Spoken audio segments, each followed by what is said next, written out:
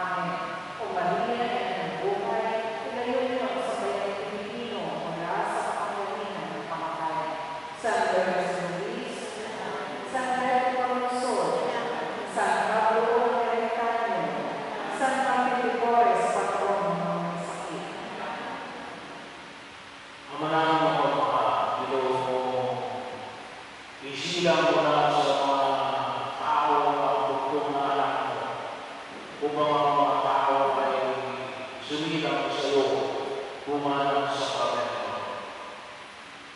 Hinihiling namin kami nakasalo sa pagkain na sa mga anak ay mo sa silo ng iyong pagkukulong sa anak. So,